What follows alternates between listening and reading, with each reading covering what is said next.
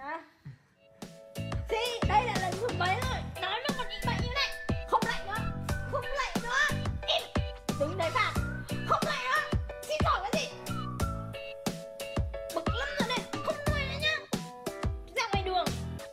Đứng yên đấy Không lạnh nữa. Đứng yên đấy